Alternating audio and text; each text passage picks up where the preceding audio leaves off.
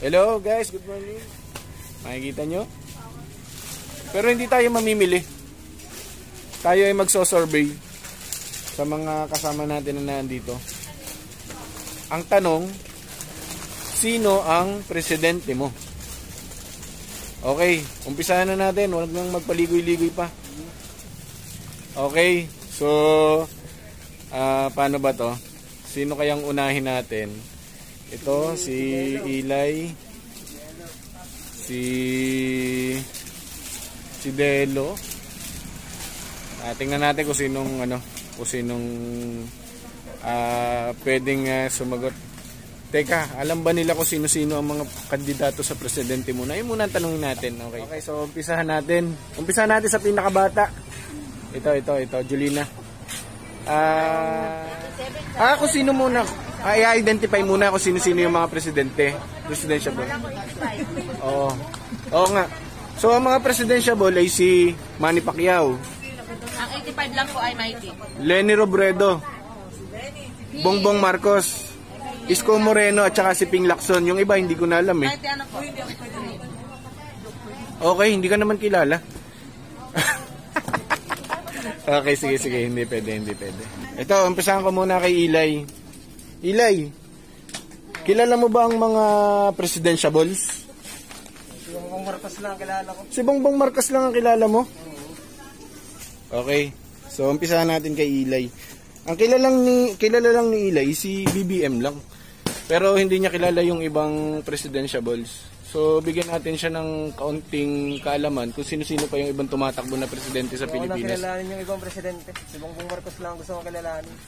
Ah, okay. So, tapos ng ano, botohan dito. Wala na siyang ibang pipiliin. Bongbong Marcos, okay. Lipat tayo sa iba.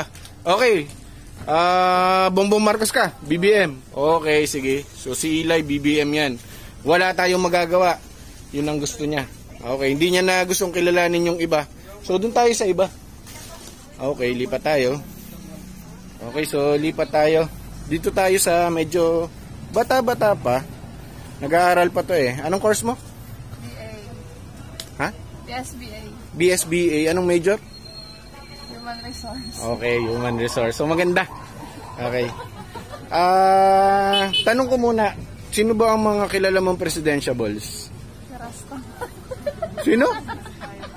Sino daw? Si Pacquiao. Si Pacquiao, Si Lacson. Lacson, Si Marcos. Marcos, Si Robredo. Robredo, Si Isko. Moreno. Yeah. Ah, okay, magaling. So, sige, dun muna tayo sa lima. Ah, yung ibang presidentiables ay na hindi nabanggit.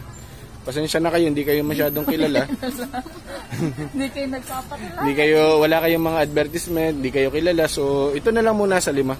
So, meron ka na bang napupusuan sa mga kandidato ng pagka-presidente sa Pilipinas? Yeah. Sino? Sino? Meron na? Yeah. Sino, sino? Robredo. Lenny Robredo, okay? Yes. Meron na tayong Bongbong Marcos, meron tayong Lenny Robredo. Okay, so magandang laban.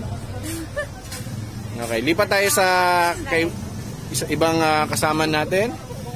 Okay, so ah mag, magpatalastas muna tayo kasi may mga nabili. So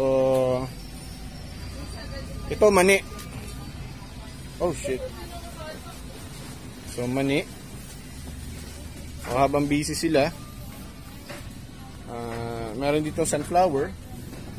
Okay, ito si Kuya. si Bakit wala akong kilalang police? Lani. Police. Okay. Ikaw, anong sino ang presidente? Hindi ka ba botante? Tukante, wala akong alam na ano. Oy, ito nga eh, ang mga Mga kilala mga politiko. si Ping Lacson kilala mo. Oo. Si Lenny Robredo kilala mo. Ah, ah. BBM kilala mo. Manny Pacquiao kilala ano mo. ba yung mga tatakbo? Oo, Cisco Moreno. Sino sa lima na yun ang gusto mong iboto bilang presidente? Wala akong Ah, si Rastaman pala, ang sinasabi mo. Hindi pa ba nag ano yun? Nag Wala yun, hindi masyadong ano yun. So doon sa lima, sino yung gusto mo? Si Marcos. BBM? Ah, Okay, so dalawa na yung ba- Bongbong Marcos natin. isang Lenny Robredo. Okay, ito naman si Ma'am Jessie. Ma'am Jessie, sino ang presidentiable na nais mong iboto? Marcos. BBM? Hindi po natin sila, inano, talagang BBM talaga. Okay.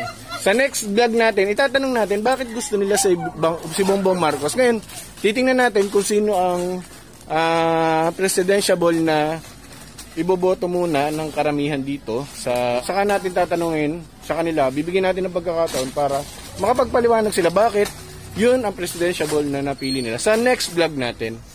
Okay. Ah, tanungin natin itong si ano, Mr. Michael. Michael, sino ang presidentiable na ano na nais mong iboto sa darating na halalan? Sino yung magandang mamalakad, eh. Ayun ang gusto mo. Ay ngayon sino yung ano, si nakikita mo yung nakikita mo na pwede para sa iyo? Bongbong? Hindi, sabihin mo nga hindi, hindi masyado narinig eh. Bumbum pa rin. Bongbong pa rin. Okay, so bongbong daw siya. Okay. So isa na lang. So ito na lang si ano, itong ating ah, nasa labas. Si Delo. Delo. Ah, ikaw ba sino ang presidential balls na nais mo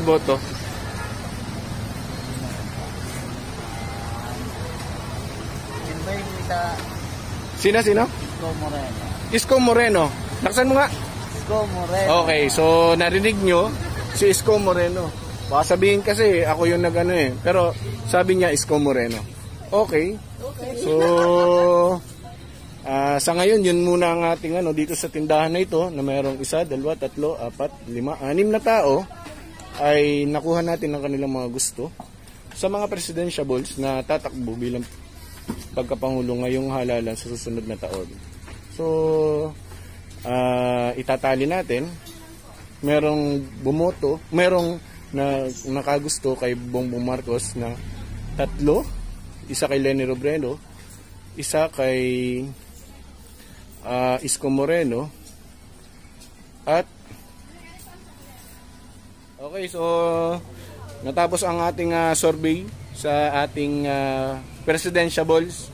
Sa susunod na vlog, ating ah, tatanungin naman sila kung bakit yung presidentiables na napili nila ang nagustuhan nilang iboboto sa susunod na halalan. At malaman natin kung mag-iiba ba ang kanilang pananaw o talagang yun na ang kanilang ah, pipiliin pagdating sa susunod na halalan sa 2022. Abangan natin yan.